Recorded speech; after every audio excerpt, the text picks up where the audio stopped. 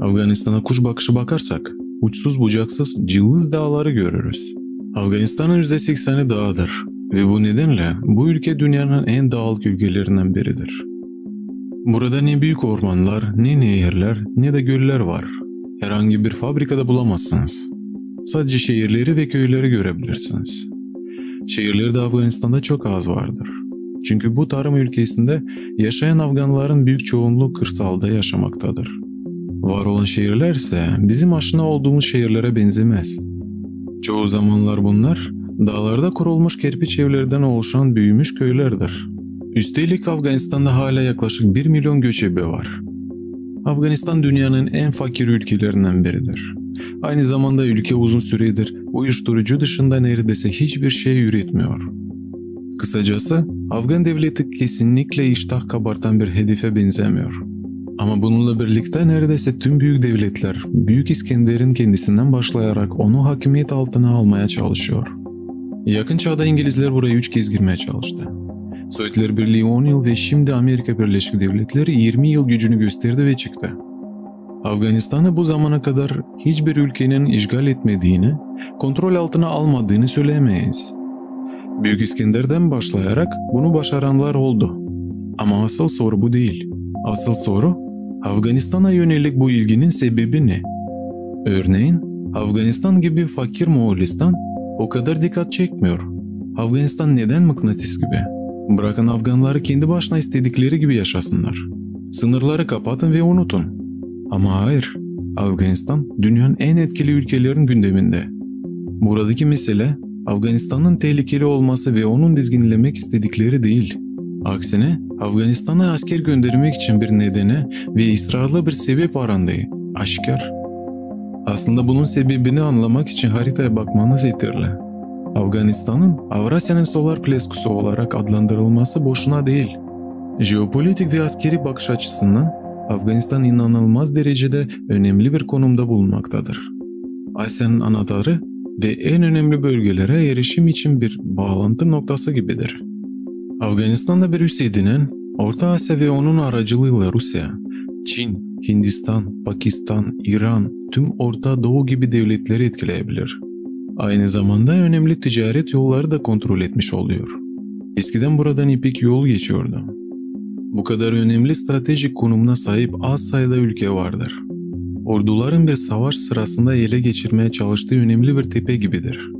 Tepeye sahip olan sadece bir avantaj elde etmiyor, aslında savaşı kazanıyor. Afganistan'ın bir çoğunu rahatsız etmesinin ikinci bir sebebi de var.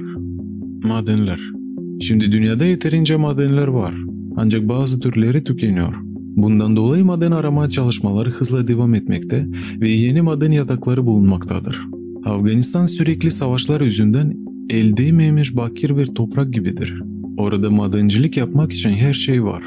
Avrasya'daki en büyük bakır rezervleri, en büyük demir rezervlerinden biri, inanılmaz uranyum rezervleri, ayrıca Afganistan'da petrol, gaz, kömür, altın, berilyum, kükürt bile var. Kısacası her şey var. Bugün artık herkes Afganistan'ı uzun süre boyunca silahla kontrol altında tutmayı başarmayacağını ve gelecekte başarılı olma ihtimalin düşük olduğunu biliyor. Bu nedenle tek bir çıkış yolu var. Afganistan'la bir anlaşmaya varmak ve onu yetki yörüngenize çekmektir. Amerika Birleşik Devletleri bunu yapamadı ve yer yine boşaldı.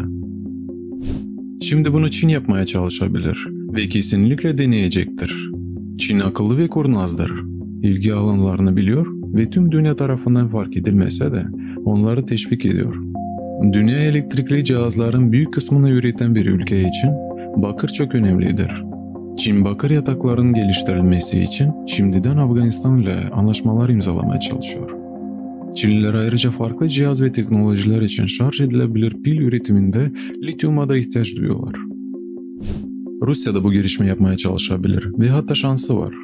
Çünkü birçok Afgan seçkini Amerika Birleşik Devletleri veya Çin'e değil Rusya'ya saygı duyuyor. Onlardan bazıları Sovyetler Birliği'nde eğitim aldı.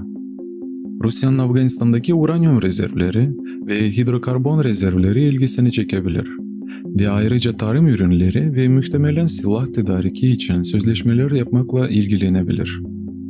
Pakistan kurulduğu günden bu yana Taliban üzerinde nüfus sahibi oldu.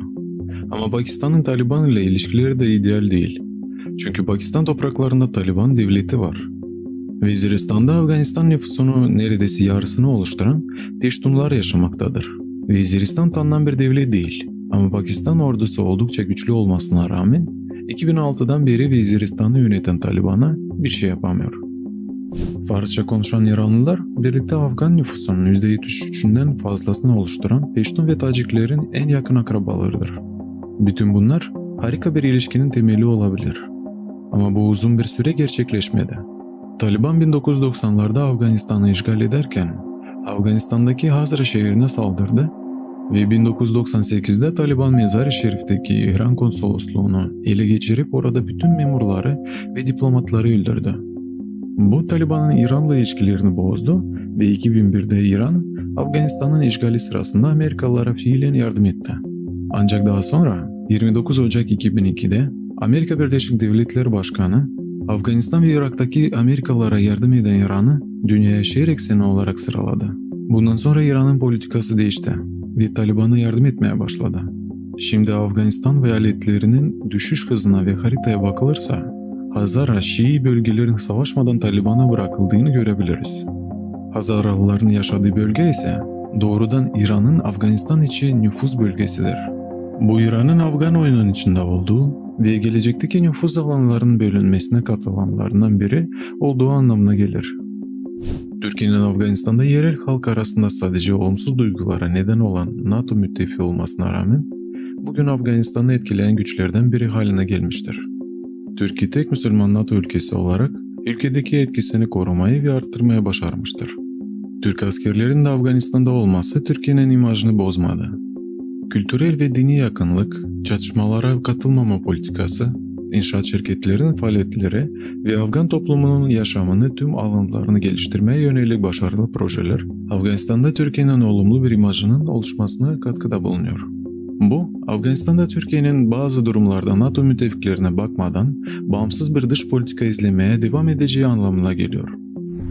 Bundan anlıyoruz ki Amerikalıların ayrılmasından sonra bu ülke için mücadele daha yeni başlıyor. Ama tıpkı Amerikalılar gibi buraya gelen tüm devletler Afgan toplumuna yardım etmeye gelmedi. Her zamanki gibi kendi çıkarları için geldiler. Umarım büyük güçler gerekli sonuçları çıkarır ve Afganistan halkının çıkarlarını da dikkate almaya başlarlar. Sırada kimin geleceği henüz belli değil ama er ya da geç biri mutlaka gelecek. Çünkü Afganistan çok cazip bir hedef.